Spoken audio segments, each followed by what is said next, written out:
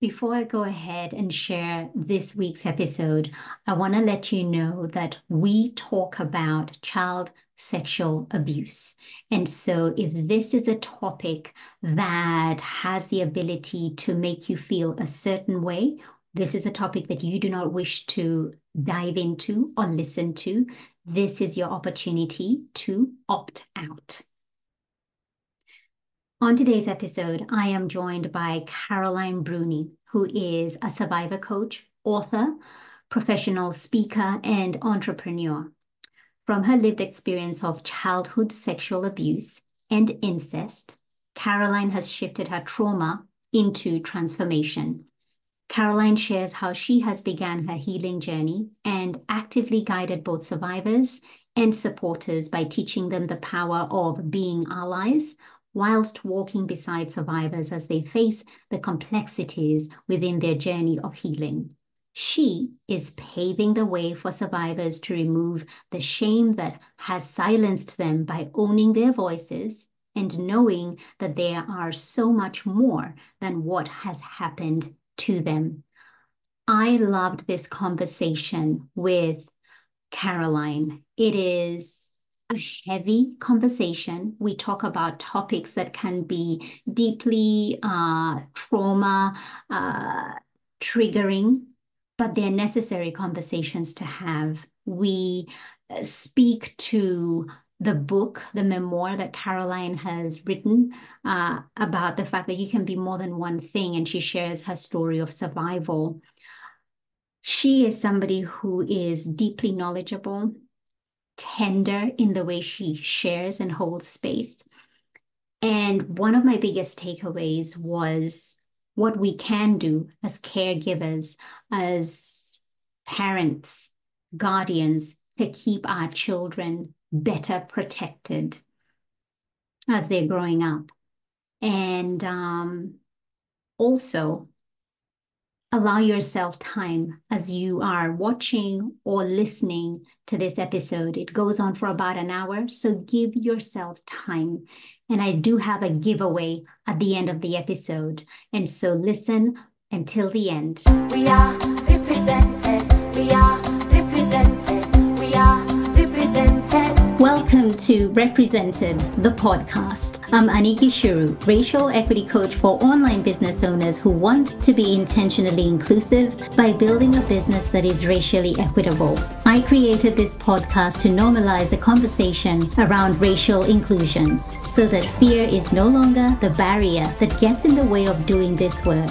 This isn't about perfection, it's about progress. Whether you're taking your first steps or you're well versed in the journey towards racial equity, this space is for you. So, welcome home, friend. Let's get started.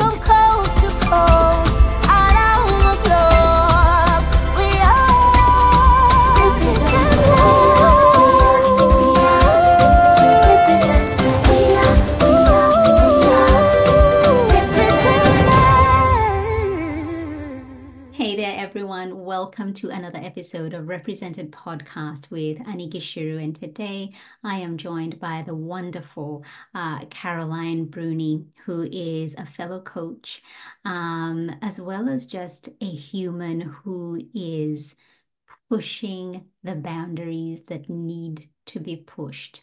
She is somebody who is speaking up for something that is truly, truly important, and we need to listen up. Caroline, welcome.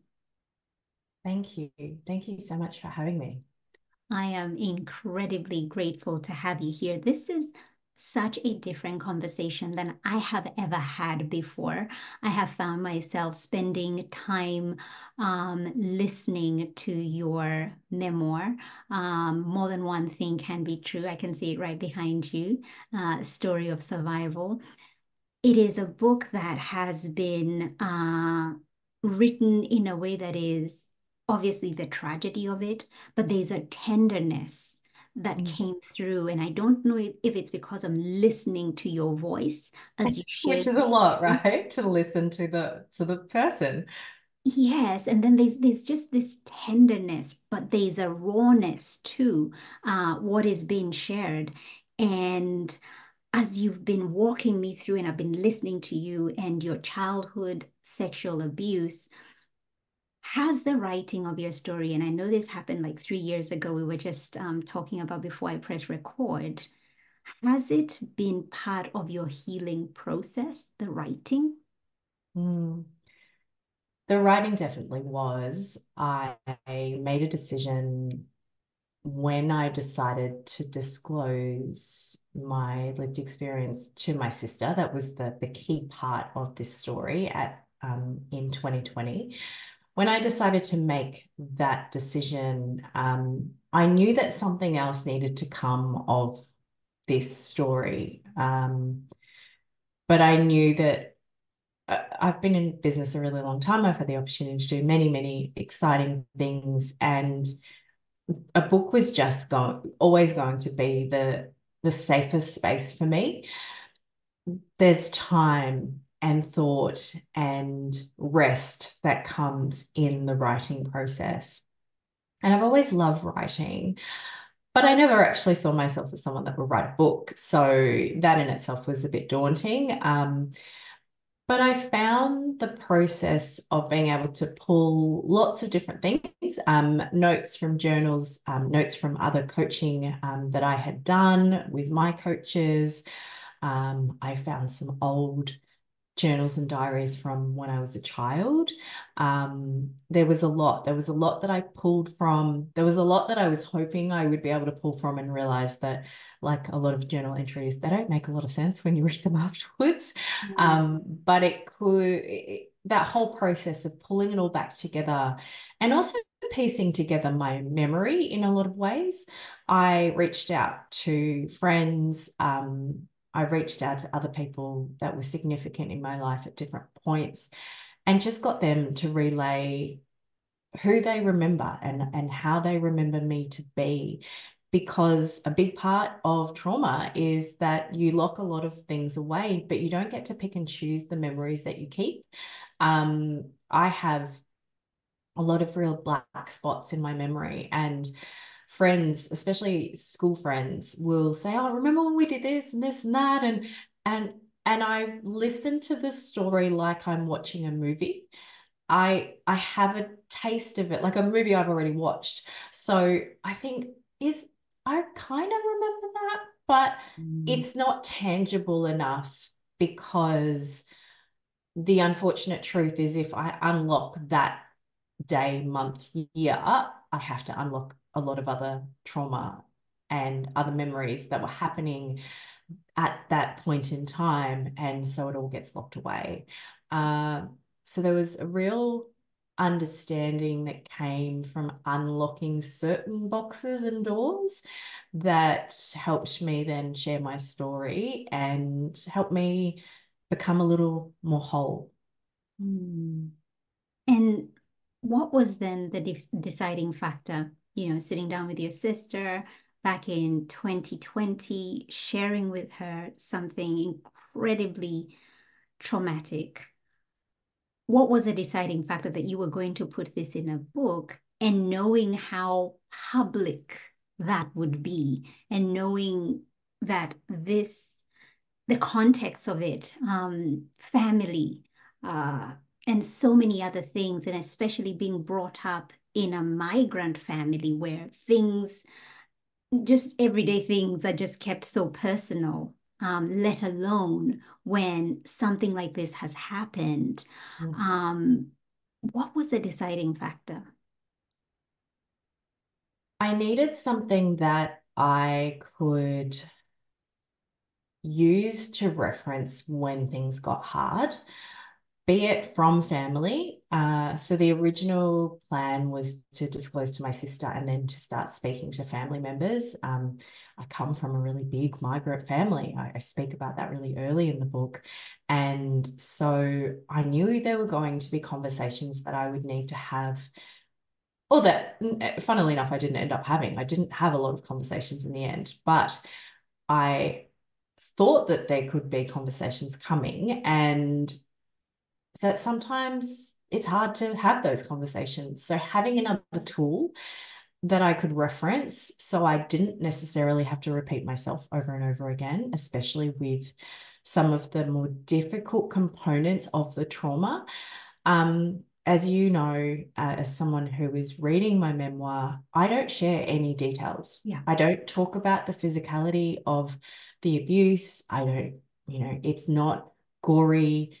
It's not necessarily even that hard to read through at times because I wanted it to be trauma informed and I didn't want to re traumatize survivors who chose to read the work.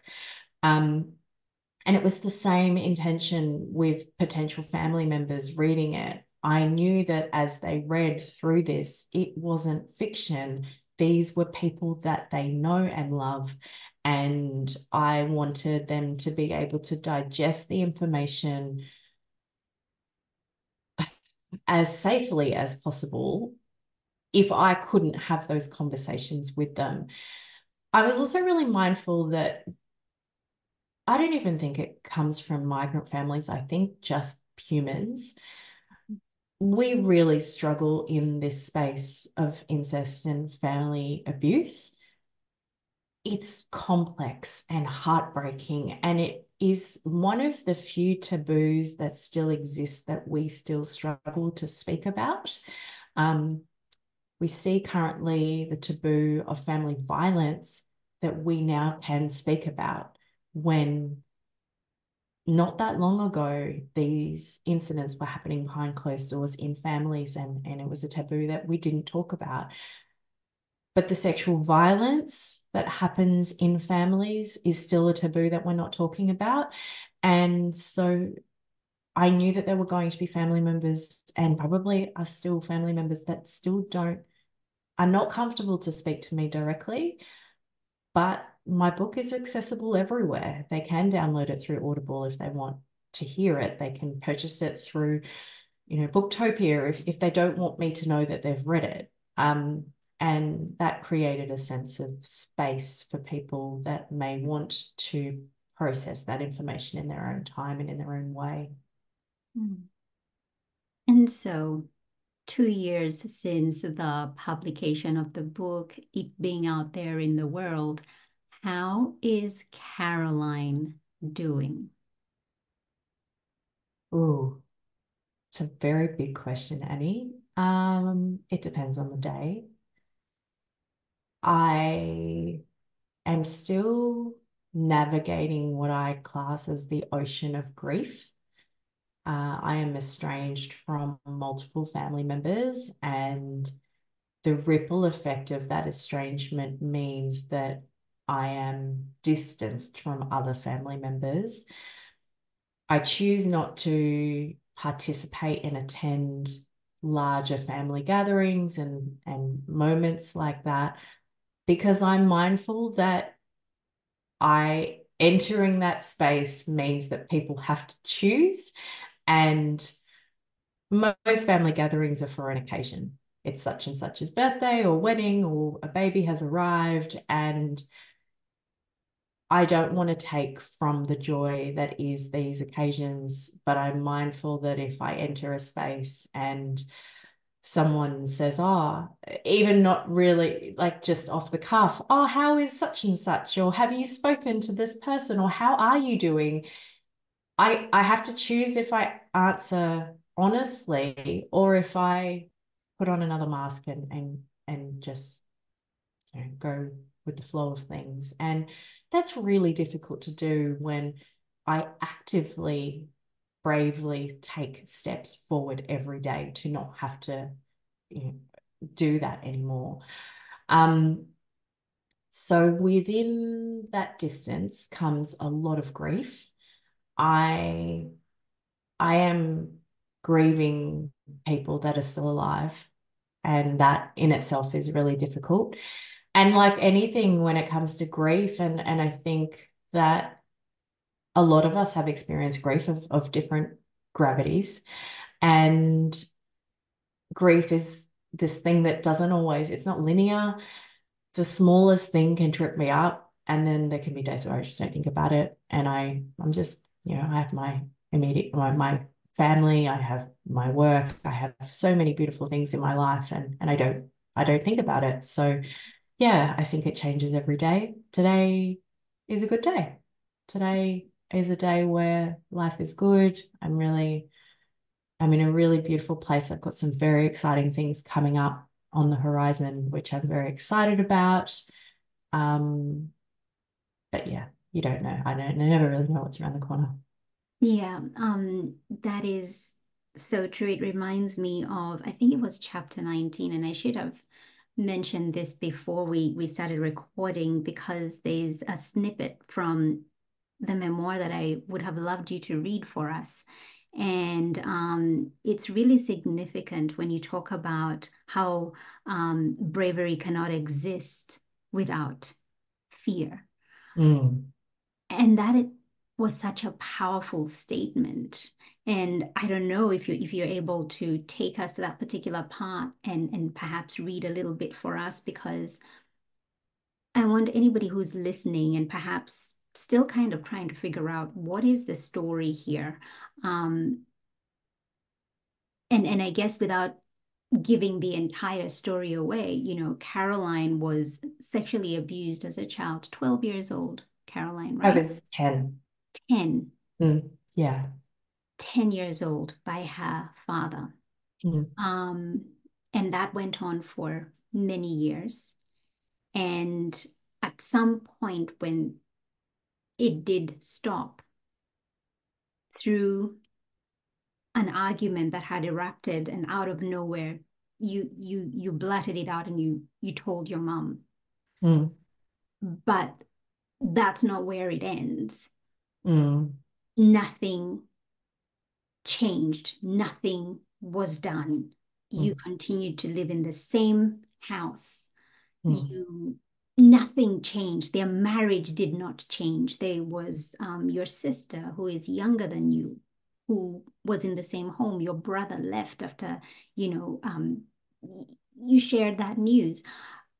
So there's a lot here for somebody who's listening and going like, there's a there's a pretty lo- there's a whole lifetime's worth of a story there, and it is it's it that, uh, and I guess those points are really significant. So the first thing that people try to digest is the fact that I was abused as a child by my father. That in itself is is so difficult for people to understand and digest. We struggle enough with child sexual abuse. When we add um, incest or family abuse to the mix, it, it, it creates a deep uncomfortable like you feel it in your body. And i know that when i sit in interviews like this i watched the host kind of wiggle a little bit because it's you feel it in your body. It's a visceral uncomfortable moment.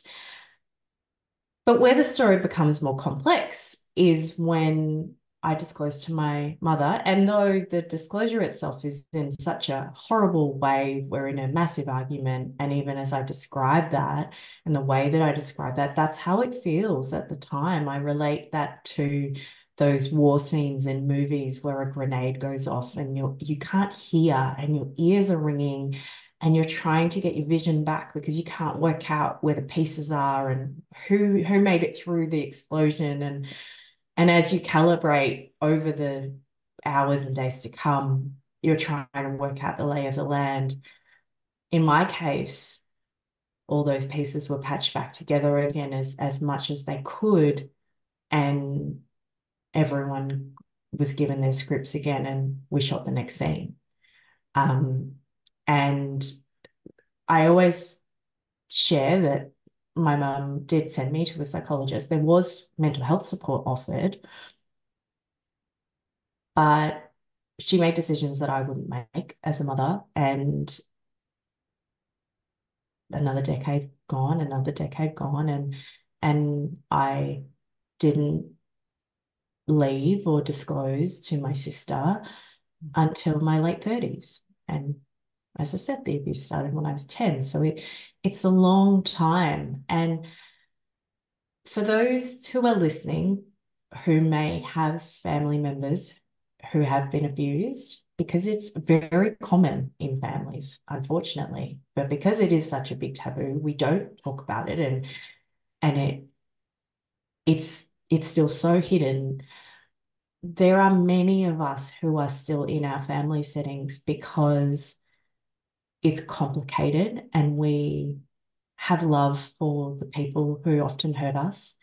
And at the same time, there's nowhere to go. Uh, there's the family unit, the institution of family, as I call it, it is a structure designed for a reason. And our internal needs, and we think of Maslow's hierarchy of needs, we are wired to seek safety in family. And the brain can do some pretty magnificent things to trick us into taking a small percentage of safety for fear of the unknown outside of that institution. So, yeah, it is very complex, and that is a very small snippet of the story. And, and I guess what it looks like to carry trauma from an incident of trauma in active trauma where the abuse occurs to the ongoing trauma of living in shame and silence and and playing a role when internally your body is telling you that you are eroding from the inside. Mm-hmm. Mm-hmm. As a mother myself, and going back to being a 10 year old, and just just so many things are just going on in my mind and just thinking first and foremost the duty of care to a child the duty of care um, and how that the neglect all that was missing um, and now you choosing to live in what you describe as an island. You've left the mm. mainland and now you're living in your island that you can control keep yourself protected. Um, I wonder, how did your family receive the news of the memoir and you finally breaking your silence and sharing your story publicly because there is a part in the memoir where you share you came together, you mm. down, and you had yeah. a conversation. Yeah. So the the time where we get together is before I release. Um, so before I publish my memoir. Um, I did share with everyone that I was going to write. Um, and before I actually had printed copies weeks before I released to the public. And um, I sent a copy to my mother, my brother, and my sister. So it was published, it was ready to go. Um, and I can't say if my mother or my brother have read my memoir. I they've never told me. I know my brother has read his chapter. Um, there is a chapter dedicated to each of my family members and also my husband and my sons. Um, each of my family members, including my father. So there is a letter, there's a chapter and a letter for, for each of them. And um, that was really important to me to have some dialogue directed to each and every one of them uh, in a way that they knew that they had been considered in this process. Now, I understand we're all human beings and, and they may not agree with even the fact that it's out there. Um, but as I've always said since I released my memoir, it's not, it's actually, it no longer belongs to me. It it's a tool for survivors. It's something I needed when I was a child and a teenager. I spent too many years of my life thinking I was the only one, um, or the, the rare one that I knew of people that had been abused in their families, be it through media or whatever. And a lot of those stories were really sensationalized um, and almost fetishized as well, in a way, the way that Hollywood can fetishize these stories.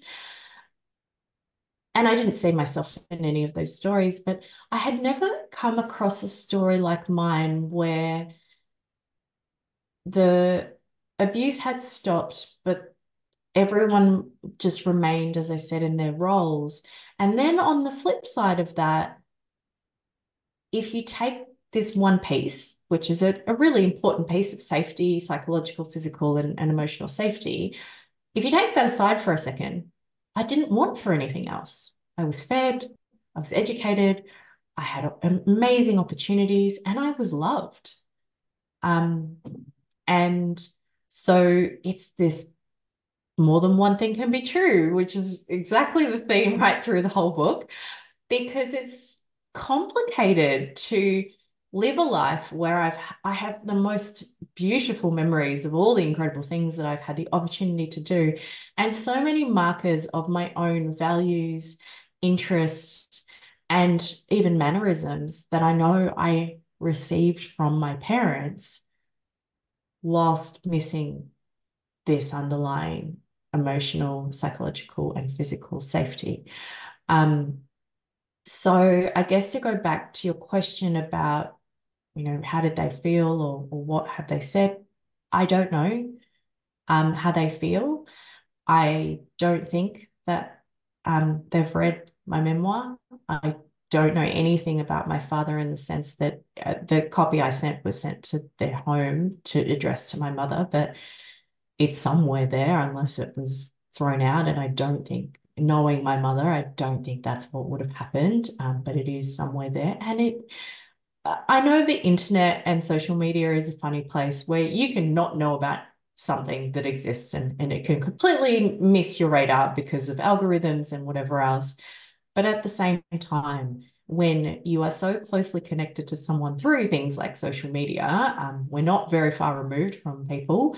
Um, it's pretty obvious that it's there. And if they wanted to listen to it on Audible or, or purchase a copy that I didn't know that had been purchased, it can be done. So uh, I know that recently um, my sister had a conversation with my mother, and she just shared that she hopes that she can see that I've taken my story and this work and my sole purpose now is to support others and to support survivors in their healing and their understanding of their trauma and how they can move with it. Um, and that was all that was said. Um, I, I don't poke and prod too much about those private conversations that I'm not in, involved in. Um, but I know that that that conversation happened, and and I'm really glad that my sister can at least share those little snippets on my behalf. Um, but who knows? There's still many more years to come, I guess. Yes, there, there, there still is. And so you're now um, a survivor coach, you are supporting other people who have gone through something similar. But in order to support others, you have received support. It is so clear and evident. The tone of the book, if I may say, has been written with love. It's been written with a lot of tenderness. I have not felt any anger come across, mm-hmm. and I was angry. Like I I was busy doing my chores, busy ironing, and yeah, no, it, it's one of those books where like if you're doing other things and then you're like, oh, wait, driving whilst listening, and I'm angry. I'm, I'm literally there's this pain in my heart, and but your tone is so soothing, so tender. There hasn't been, and I'm sure the anger is. There is a chapter. chapter. There, there is a chapter about anger. I will. I, it, it's not ruthless, but it there, there there is a mention of anger in there. The moaning, the groaning, the pain that just kind of hits you from from nowhere. You could be just having a good day, and then it just dawns on you, mm. or it comes flooding. Um, what kind of support have you received um, to get to where you are today? Where did you begin? Because the beginning, again, that got me upset as well, being sent to a psychologist who was oh. a man the same age as your dad. Like, just. Yes. Sometimes when I think back to those moments, especially when I've shared them in my memoir or with others, and people are like, what? yes, sorry. I get it. I get the reaction. Um, it's baffling in so many ways. Yes. Um, but yes, so interestingly enough, yes, I did receive um care from a psychologist, and he wasn't a terrible psychologist, but you know, I wouldn't pick him again. I wouldn't send anyone to him these days. Mm-hmm. Um, I have had different therapy at different points in time because I've had different significant issues that have popped up. So when I had my first son, I was, it was a couple of months before I turned 22. I was probably still a baby myself in many ways. Um, and then within six months, we, I couldn't, initially they thought I had postnatal depression and it was very clear that it wasn't. So I ended up seeing a therapist at the time. And it was the first time I had seen a therapist at a, um, a sexual violence clinic. So that in itself was specialist care. And I worked with her for a series um, all funded through the clinic, which is amazing. That clinic still exists mm-hmm. here on the Gold Coast, and I now get to do work with them. So I, have had a full circle moment, which is so beautiful. To I recently um, visited the centre when I first moved here and, and started establishing roots here, and and I've been able to go back and kind of thank them for the work that I did with them 20 years ago, and and just to see that they're still doing brilliant work in the community, which is amazing. Um, so I had that kind of care. I worked with different therapists and specialists over the years. It's normally been at different points in time. Um, trauma is carried and it it comes up and shows up in different ways and trigger is triggered by different things.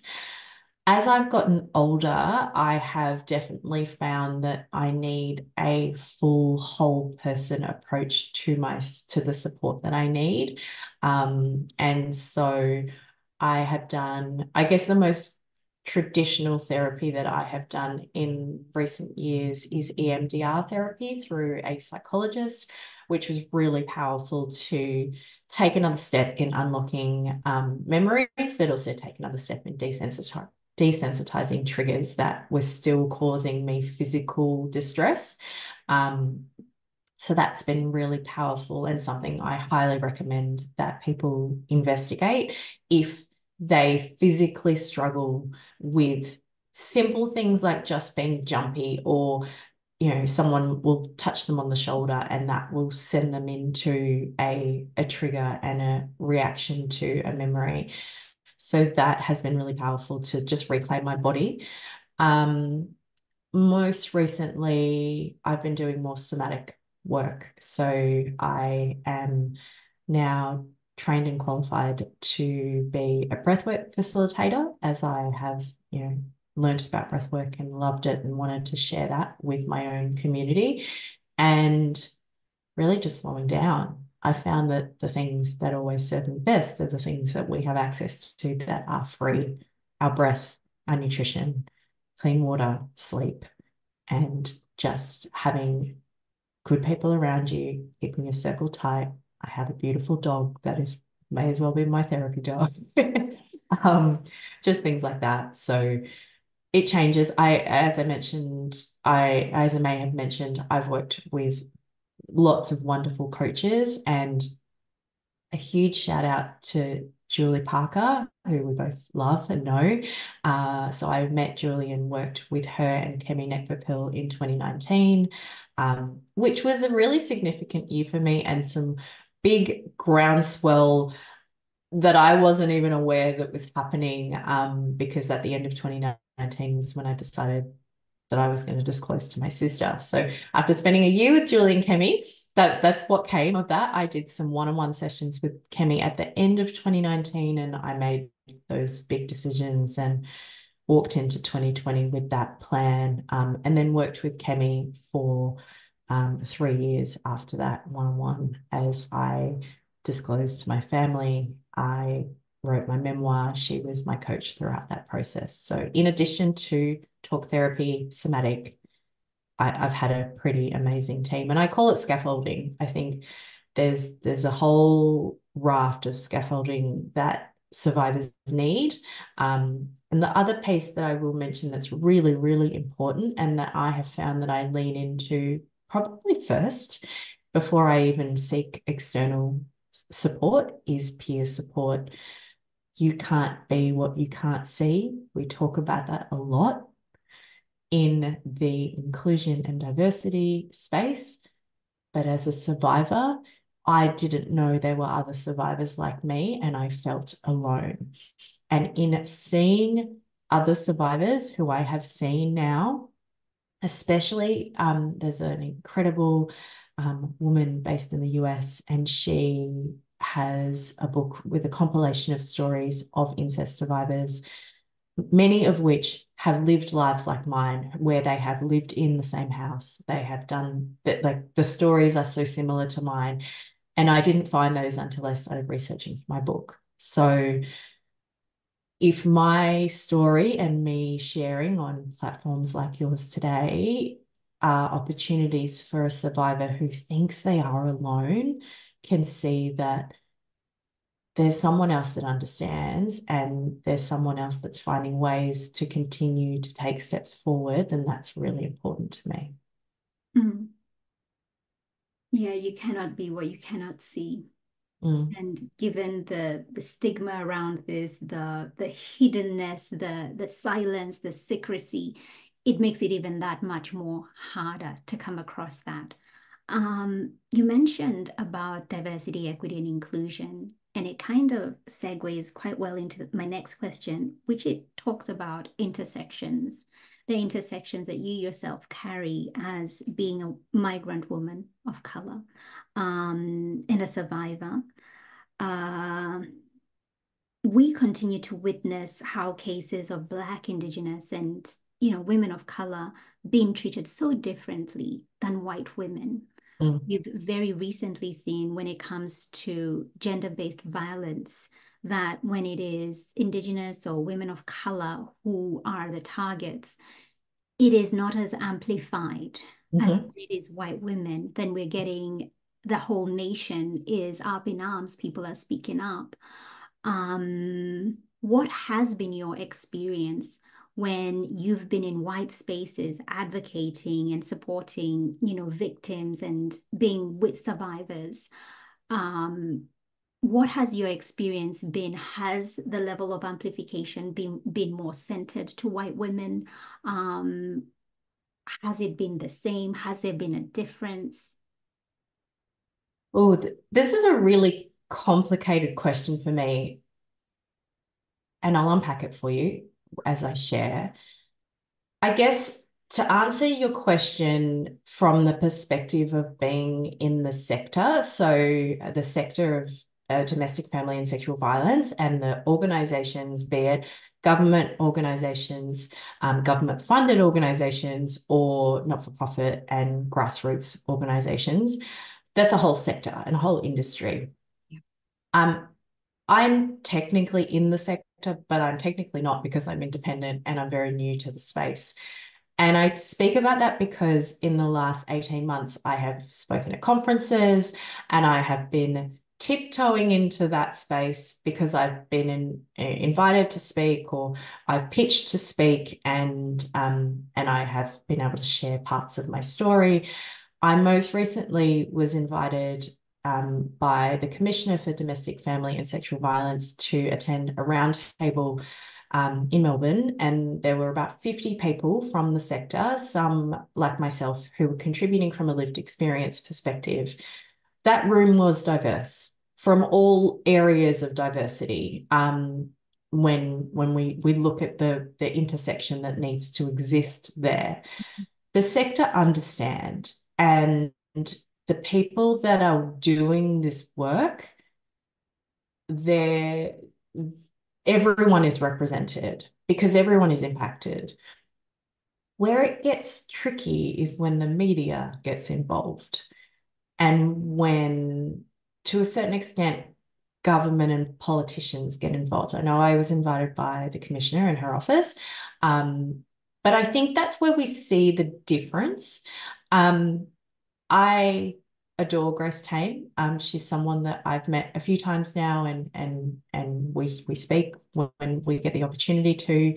I I admire the work that she does, but I know that if someone had to choose between us to put on a stage from a media perspective, take away the fact that she was Australian of the Year, that's that holds some pretty significant credentials. I know who they're going to pick from a media perspective. Like that's just a given. I need to add a little asterisk in there of my own lived experience that is very complicated, and I, I probably need to unpack it with you on another day on an, on another call. I have had an unusual experience of being what I would call as really white passing in my lifetime. I've had many occasions where people have said to me, lovely people have said to me, Oh, do you class yourself as a woman of color? And I've kind of squinted and gone, Pardon?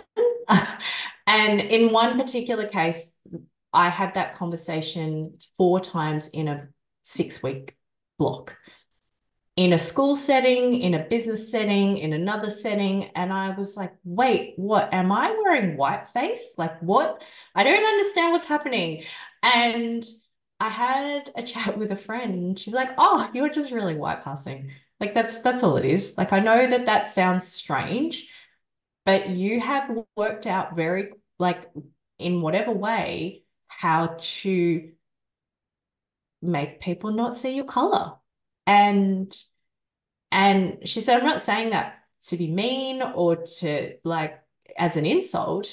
It's a skill and it's a coping mechanism, but you've managed to do it in a way that people don't even notice it anymore.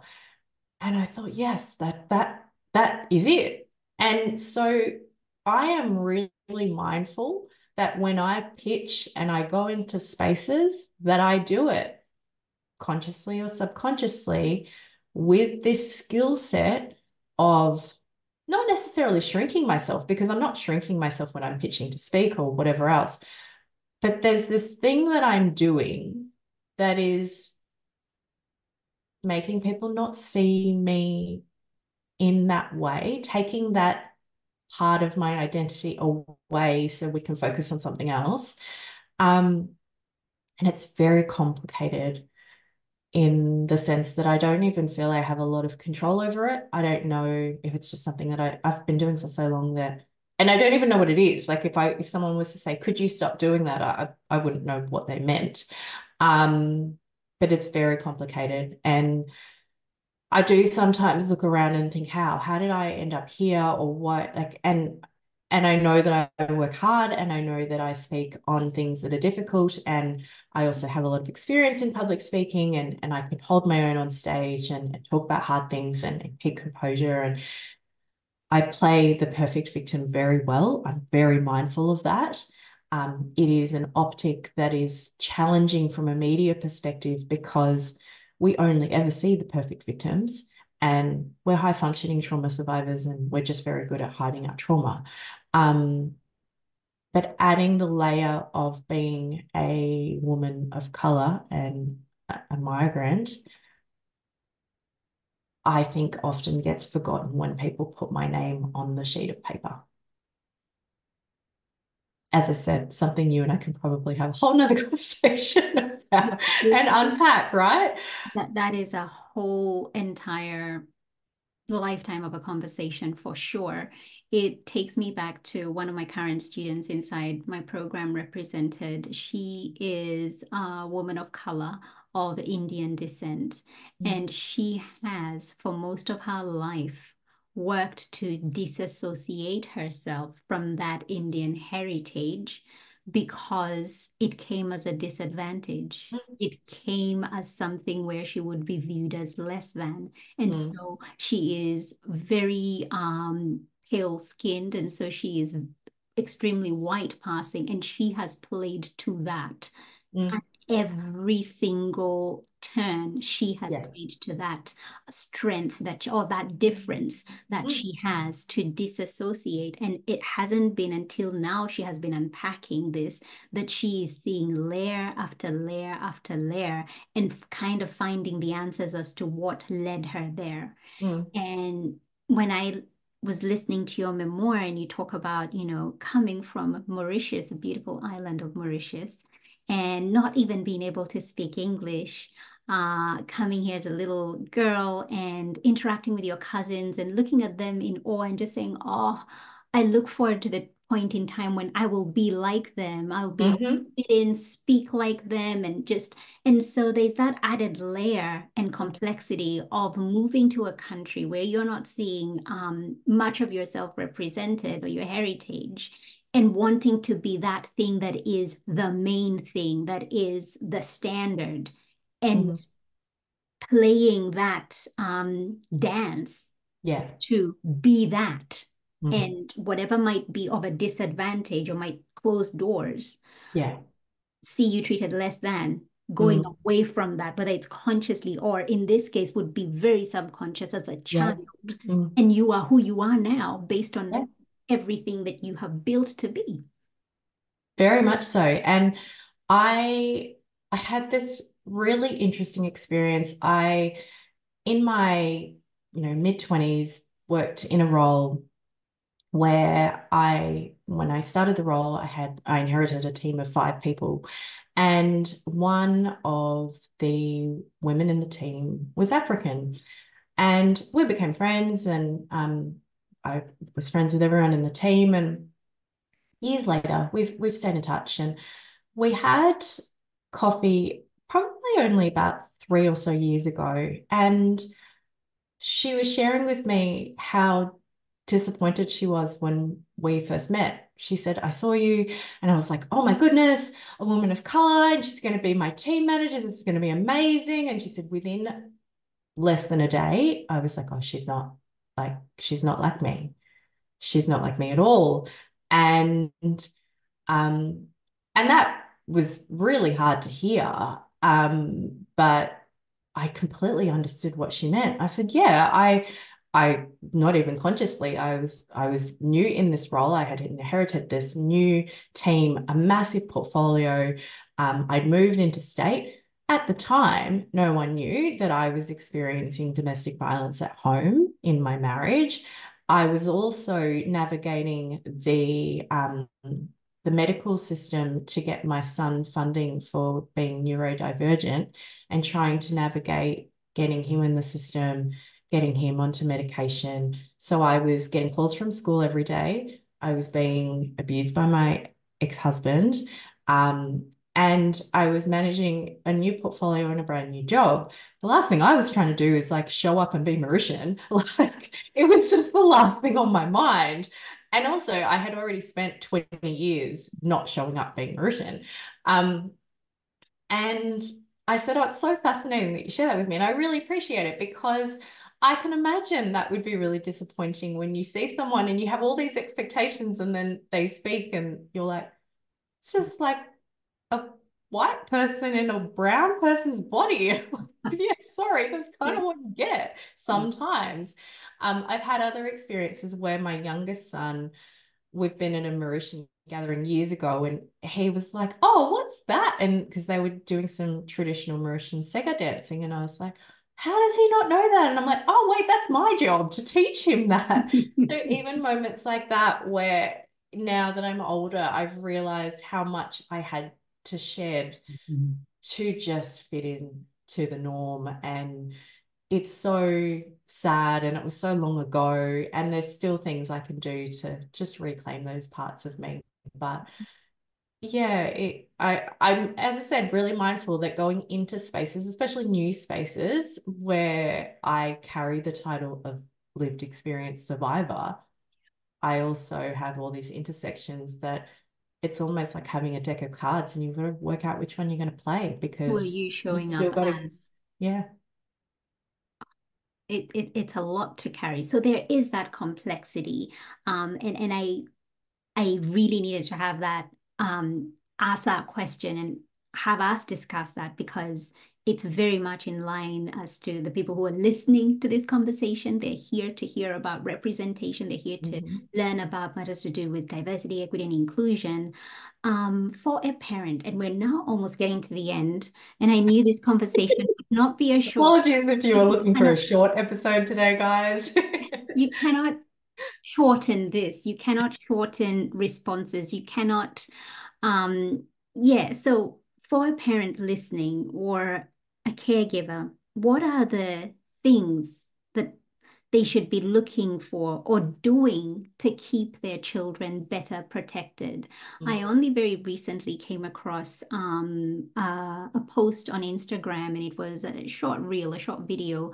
Um, there's this parenting uh, expert that I follow, and she was talking about the sensitivity or the vulnerability of the ages of children between the age of seven, I think, right up to 15 or 16, and the fact that she doesn't advocate for sleepover because that is such a tender age when they're being exposed to so many things. And this is when actually they could very easily get you know um, sexually abused. And um, as statistics, uh, you know, tell us, it happens from somebody that is known to, um, you know, to the victim.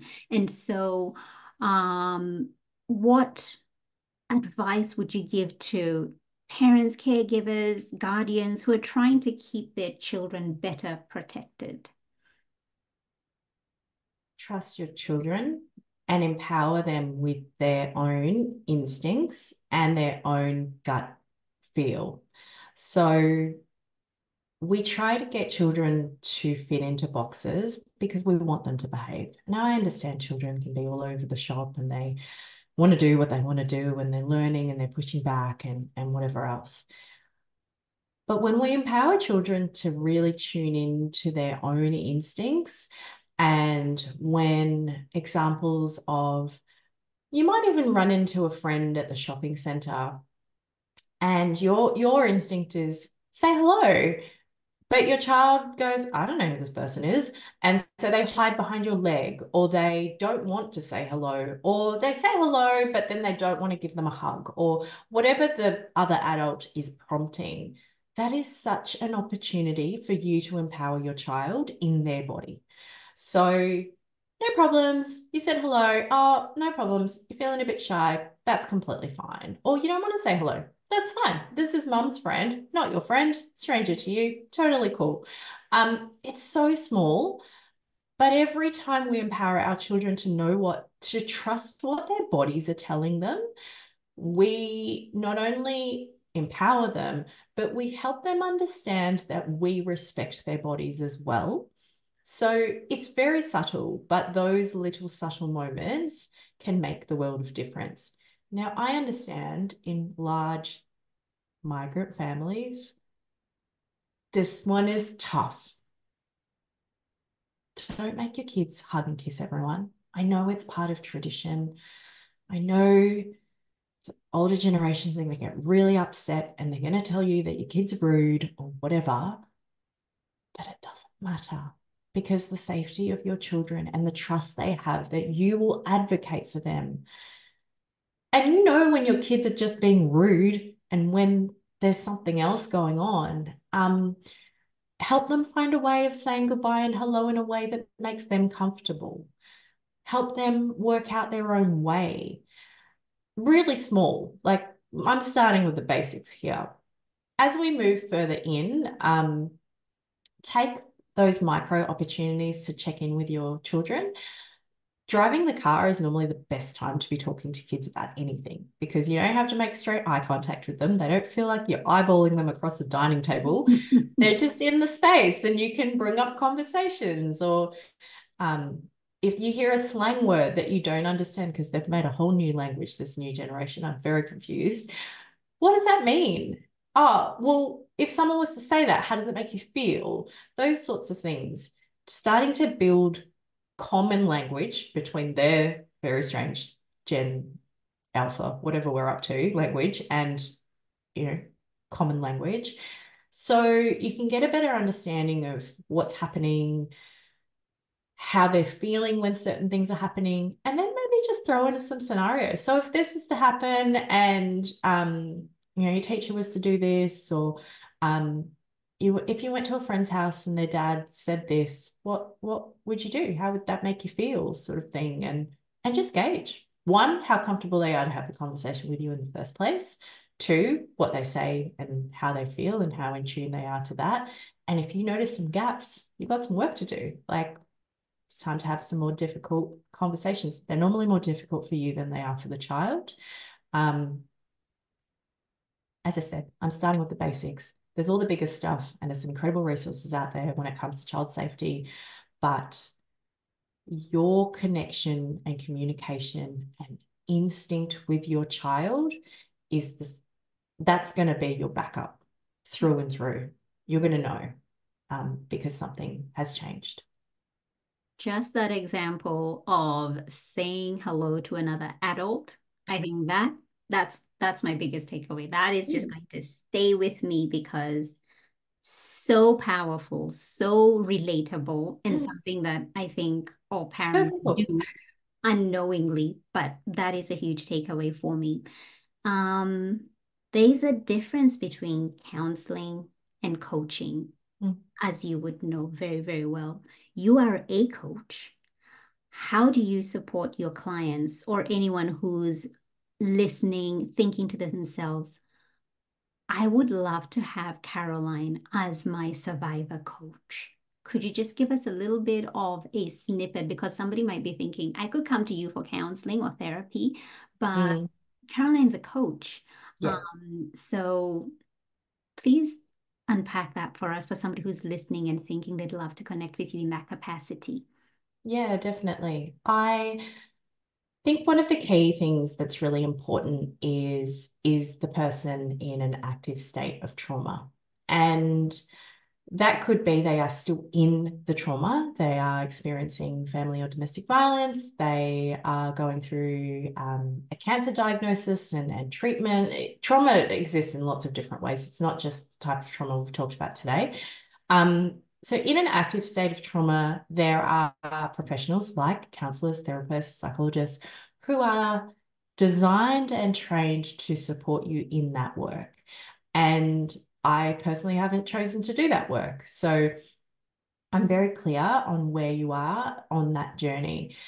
Now, trauma isn't linear and we carry it with us. So there may be other stages that you reach in your life where you know that you want the support of a coach, but you want to know that that coach is trauma informed, that they specifically know how to work with people that are trauma survivors, and they're going to be able to get an understanding of your lived experience but that the sessions don't need to be about your lived experience. Um, that my focus is on, I, I say that people move with trauma, they don't get over trauma. So my focus is to always say, well, how can we move with your trauma whilst you work on whatever it is you want to work on with me as a coach? So that's the key difference. Um, so I often use my discovery session and those first interactions to give the client an opportunity to share anything of their lived experience that they'd like me to know. And that's probably the only time we talk about the past. So it's their little window of opportunity to tell me anything they want to talk about. Um, because it's important for me to understand that foundation, but it's also important for the person to only share what they wish to share. From there, we focus on the present into the future, knowing that they're carrying trauma with them and that trauma can trip us up. So what, what do we do if that if that comes along the way? Um, so, so at the moment, I have a coaching series, um, which is six sessions. But in the next month, I'll be offering a one-off um, 90 minutes, so 60 minutes and an additional 30 minutes. And I've just introduced breath work, which is different again to coaching, um, is a lot more somatic. And that's a new offering as well that can be accompanied with coaching if people want. Um, but as I said, very different experiences. So that's the most important part to understand. And I understand that when people are working with a coach, sometimes they are triggered back into active trauma, that's where the scaffolding comes in. So mm-hmm. we don't necessarily need to stop our sessions. We can just say, okay, well, what additional support do you need and who's in your team? I want to be a team member. I just I can't be the only the only coach in the space. If fear was not a factor, how would you show up in your work?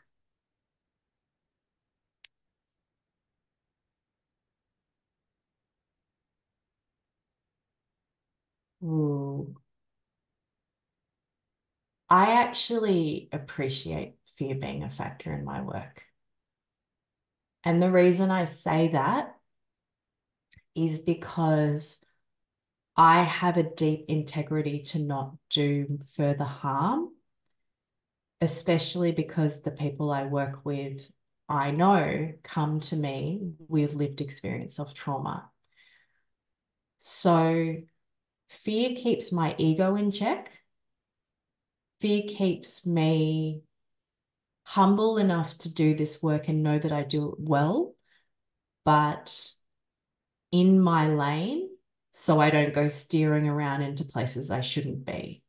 So it's probably one of the few times where fear is invited in a very understand like I understand the relationship I have with it because it's there to remind me not to steer too far out and not to let my ego take over where I, I think I can be someone's messiah when I'm not anyone's messiah. Um, yeah. From a business perspective, I don't have a lot of fear. I do stuff all the time that I just I go rogue all the time because I love new ideas and I'm pretty brave like that. um, so I like the fact that fear sits in this space for me. So fear as a safety. Mm, fear as a safety and fear as a boundary to ensure that I am doing everything in my power to create safety, knowing that it is not always implied. Mm. Mm. Where can people connect with you? Because right now they're racing. How can they uh, connect with you? Where can they find you? So my website is carolinebrunne.com. Um, there you'll find links to all my socials. I'm probably most active on Instagram, which is Caroline underscore Brunne. Um, on my website are all the links to where you can purchase my book and, and listen to it. So if you're an Audible person, you can download, like click the link there. If you purchase a hard copy from my website, I sign it and send it to you. So that's a bit special could you grab the book and hold it up for those who are watching um, so that they can get to see this beautiful hard-covered book? And I want to do something, Caroline. I want to give away some books. So if That's you're exciting. listening, if you're, li- of course you're listening. What am I saying? if they're still listening, because it's been a while. you're still here. I trust you are. Um, I'd love you to share this episode on your Instagram stories or even your page if you feel called to, and tag Caroline and myself so that we can reshare. And let us know what was your takeaway? For me that that that last was the end um, about the adult and the interaction and to pay attention and not kind of make your children have to hug somebody or say hello to somebody. That's been my biggest takeaway so far. Um, let us know what your takeaway was. And then you will go into a draw. You'll go into a draw to win a copy of Caroline's book. And I'm giving away three copies. So please if this has touched you, if you believe that this would be uh, something that somebody might find of value, please go ahead and share. The more we share, the more we can get this uh, important information out. So once again, share on your Instagram stories or your page, tag Caroline myself, and I'll pop that. Um, the links will be in the show notes and share your takeaway. And then you'll go in the draw to win one of Caroline's books. One of these. I'll sign it for you. All right. Beautiful. Caroline, thank you so much for your time. Thank you for sharing so generously. I know this is not easy, but you do it with so much grace. You do it with so much tenderness, with love. And I am so grateful for you. Thank you for all you do. Oh, thank you, Annie. It was wonderful to be held by you and, and have this chat. We are represented. We are represented. We are represented. Thank you so much for tuning in. Why don't you go ahead and hit that subscribe button and leave a review so this podcast can reach more online business owners and together we can begin to normalize racial inclusion in the online coaching space. I'd love to acknowledge the traditional owners of the land where this podcast episode was recorded, the Wiradjuri people in central New South Wales, Australia. Music produced in Nairobi, Kenya by Patrick St. Pimbaru and Kambua Mathu. Vocals by Joanne Matata.